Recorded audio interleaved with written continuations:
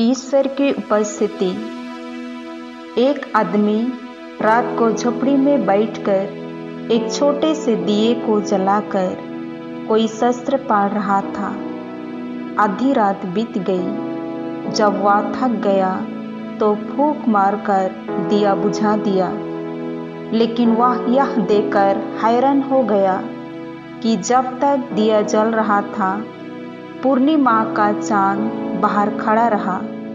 लेकिन जैसे ही दिया बुझ गया तो चाँद की किरणें उस कमरे में फैल गई। वह आदमी बहुत हैरान हुआ यह देखकर कि एक छोटे से दिए ने इतने बड़े चाँद को बाहर रोक कर रखा। उसी तरह हमने भी अपने जीवन में अहंकार के बहुत छोटे छोटे दिए जला रखे हैं। धन दौलत का अहंकार, पद प्रतिष्ठा का अहंकार, बहुबल का अहंकार, तीव्र बुद्धि का अहंकार, सुंदरता का अहंकार, सुरीली आवाज़ का अहंकार, अपने टैलेंट का अहंकार।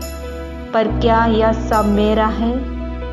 ईश्वर का वरदान नहीं तो फिर इतना अहंकार क्यों?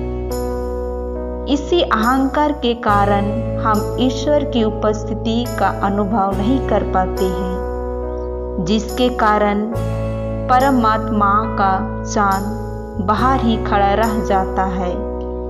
तो इस चाँद को अपने अंदर लाने के लिए अपने अहंकारी प्रवृत्ति को हटाना होगा, मन को शांत रखना होगा।